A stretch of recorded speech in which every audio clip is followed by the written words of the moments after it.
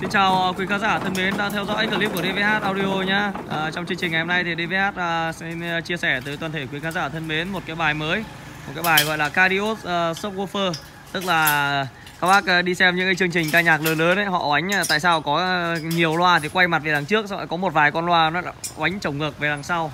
Thì đây trong chương trình ngày hôm nay thì sẽ lý giải về vấn đề này. DVH đang sử dụng là ba chiếc súp kép súp mặt kép đây nhá hai chiếc thì quay về đằng trước này một chiếc được quay về đằng sau này. Thì ờ, cái tác dụng của cái việc này là gì? Chắc là anh em ờ, đam mê âm thanh thì ờ, tìm hiểu chắc là biết rồi tức là để nó triệt tiêu cái âm thanh âm thanh nó lan về phía đằng sau. Và cái âm bát thì nó sẽ oánh hết ra đằng trước các anh nhá. Thì mình sẽ phải đảo pha mình sẽ phải đảo pha cái con uh, súp uh, quay mặt đẹp sau cái con súp ở giữa này và delay cho nó. Nói chung là chúng ta sẽ kết hợp uh, delay đảo pha uh, cho súp thì âm thanh nó sẽ lan ra đằng sau nó gần như nó nó sẽ bị triệt tiêu hoàn toàn. Thì uh, về cái uh, về cái thiết bị thì đương nhiên là các bác sẽ phải có sau cạc và mic RTA thì ờ, khác với cả setup ờ, sub N5 setup sub N5 thì các bác sẽ đặt mic ở phía trước, nhưng mà setup cardio thì mic lại đặt ở phía sau cơ. Mic đặt tít đằng sau này, đây đi vào đây, chỉ cho các bác thấy nha đây này, mic này DVH đặt ở tận đây cơ. Thế lý giải tại vì làm sao mà mic cardio lại ờ, setup lại mic để ở đằng sau. Để làm gì? Tức là để chúng ta sẽ đo đạc được, chính xác và chúng ta sẽ triệt tiêu được âm thanh ra cái khoảng đằng sau này âm bát gần như ra đằng sau này gần như là mất hết luôn. Bát nó chỉ đánh tập trung ra phía trước thôi. Ok bây giờ thì ờ, sẽ hướng dẫn bây giờ mới bắt đầu mới vào vào chủ đề này này. Vừa nãy chỉ gọi là đoạn mở bài thôi. À, hiện tại hai cái súp đánh đằng trước thì là delay bằng không không có delay gì cả nhá. Và cái súp ở phía sau cái súp ở phía sau này thì DVH đang delay là khoảng độ 1,7 m 1,7 m và lật ngược pha của nó lại lật ngược pha của nó lại.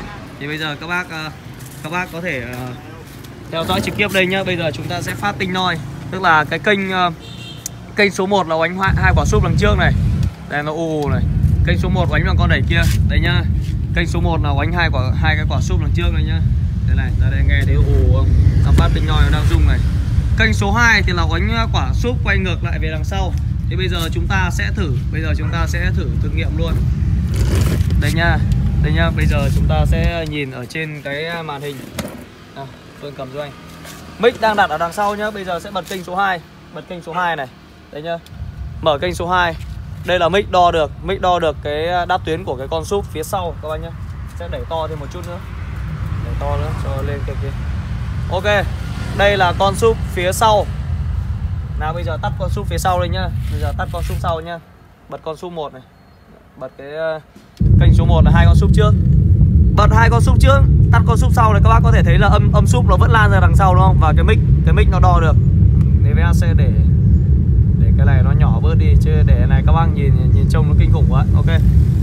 Đây là cái âm của hai con súp đằng trước mà cái mic ở phía sau nó đo được. Và bây giờ đây, bây giờ DVA sẽ bật cả cái con súp sau. Em, em quay em em đừng rung tay nhá. Đây nhá, bây giờ sẽ lại nhá. Đây là âm của hai con súp trước này hai hai con súp trước, mà cái mic ở phía sau nó đo được nhá. Bây giờ sẽ bật thêm con súp đằng sau này. Bật thêm con súp sau phát, các bác có thể thấy này. Gần như nó bị triệt tiêu đi rất là nhiều luôn. Âm mười mấy dB luôn. Tức là làm sao? Tức là bây giờ chúng ta sẽ đi ra phía đằng sau này. Bật cả súp phía trước và bật cả súp phía sau. Đảo pha con súp đằng sau, delay cho nó và đảo pha, đi ra đằng sau gần như mất hẳn tiếng súp luôn. Đây, các bác có thể thấy không? Đây, đi ra đằng sau này. Cái tiếng ù nó rất là bé. Tiếng nó tập trung hết ra phía đằng trước kia. Đấy nhá quay ra đằng trước này. Quay ra đằng trước này. Đây ra đây bắt đầu các bác thấy tiếng ù nó to hơn chưa? Các bác chú ý đeo tai phone để cảm nhận được cái âm âm súp nhá. Đang không bật loa lời đâu. Loa lời kia thì tạm thời bỏ qua. Chúng ta đang à, bài này chúng ta đang setup về súp. Thì uh, cái ý nghĩa của cái việc này là gì? Nếu mà tắt cái con tắt cái con delay đi này tắt cái con súp delay ở phía sau đi này đấy thì âm nó lại lan về đằng sau. Đây nhá đây là tắt con súp đằng sau nhá. Âm nó lại lan về đằng sau nó rất là to. Đây ra đằng sau mà nghe. Thấy chưa? Đằng sau với đằng trước nó kêu to gần bằng nhau đúng không? Các bác đi làm đám cưới sự kiện này chắc là biết rồi. Súp thì nó là âm thanh đa hướng nó đi cả ra đằng sau luôn. Nhiều con súp quánh đằng sau đằng trước to bằng nhau con này trông này còn đỡ đấy. Ok thế là các bác đã biết được cái ý nghĩa của cái việc uh, cardio súp rồi chứ đúng không? Tức là âm thanh nó sẽ bị triệt tiêu ở phía sau và nó dồn hết cái âm súp ra đằng trước. Nó dồn hết cái tiếng súp ra đằng trước này. Còn để mà để mà đi sâu hơn tức là làm như thế nào làm như thế nào thì uh, rất là nhiều anh em cũng chưa biết làm thì ở cái clip này thì do điều kiện cái thời gian nó cũng không cho phép nên là DVS sẽ à, giới thiệu qua là uh, mô hình chung thì sẽ là như thế. Uh, delay con uh, quay ngược đằng sau lại delay con súp đằng sau nhá và đảo pha cho nó. Đảo pha 180 độ thì nó sẽ triệt tiêu hết âm hết âm thanh ở phía sau và gầm bát nó sẽ dồn hết ra đằng trước này. Và bây giờ thì để để các bác có thể cảm nhận được cái tác dụng thực tế nó như thế nào thì bây giờ chúng ta sẽ lên một đoạn nhạc lên một đoạn nhạc và DVS sẽ đứng đằng trước và sẽ đi vòng ra đằng sau bác sẽ nghe phía trước. Và phía sau xem nó thay đổi như thế nào nhé Ờ, các bác uh, chú ý đeo tai nghe nhá. DVH là đang bật mỗi súp không thôi đang chưa bật full full kia là đang chưa bật bật mỗi súp không thôi. Thì nghe ở đằng trước này nghe đằng trước cái súp nó đánh rất là mạnh. Đây có thể đẩy lên thêm một tí nữa. Đấy đằng trước thì súp đánh rất là mạnh. Nhưng bây giờ các bác nhớ đeo tai phone nhé bây giờ chúng ta sẽ đi ra đằng sau. Ra đằng sau hết sạch súp luôn. Ra đằng sau không nghe thấy súp nữa. Đằng sau gần như câm luôn quay này cho các bác xem tác dụng rất là hiệu quả triệt tiêu được khoảng 90 phần trăm cái âm súp nó lan về đằng sau. Thì các bác làm những chương to nó, thì cái súp nó, nó sẽ không bị lan lên sân khấu. Đấy các bác đeo tai nghe nhá. Ở đằng sau là nghe súp bé tí tẹo luôn. Gần như là không nghe thấy âm súp mấy nữa. Và đi ra đằng trước này. Ra đằng trước này. Đấy bắt đầu âm nó to dần to dần lên này. Đấy ra đằng trước thì tức ngực luôn. Âm súp có dồn hết về đằng trước nhá. Rất là hiệu quả. Còn à, các bác nào mà muốn à, muốn muốn biết là chính xác là cách làm như nào thì à, có thể đến trực tiếp cửa hàng DVH DVH à, sẽ chia sẻ cho các bác hướng dẫn các bác cái cách làm. Ok bây giờ sẽ bật cả loa full lên bật cả cái dàn full ở trên kia lên để uh, test cùng cho nó vui. À, ba bốn.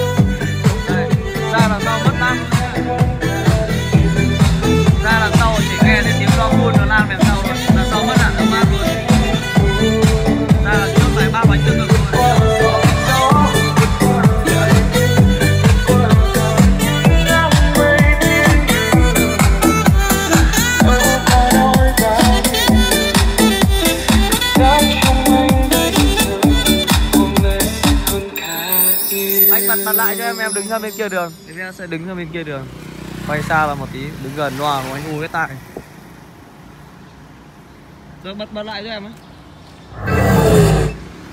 có tương lai là hiện tại không bao giờ phai. Tình yêu trong anh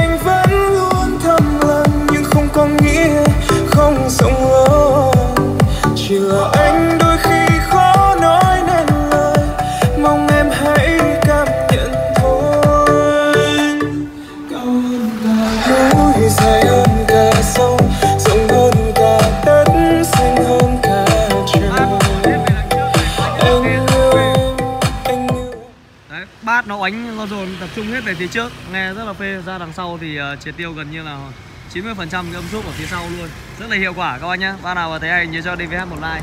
Ở clip sau tại bây giờ trời nó sắp tối rồi. Chia sẻ nó hơi lâu. Để uh, clip sau đi. Clip sau DVH sẽ hướng dẫn uh, các bác uh, sâu hơn cái, cái cái cách can thiệp ở trên cốt.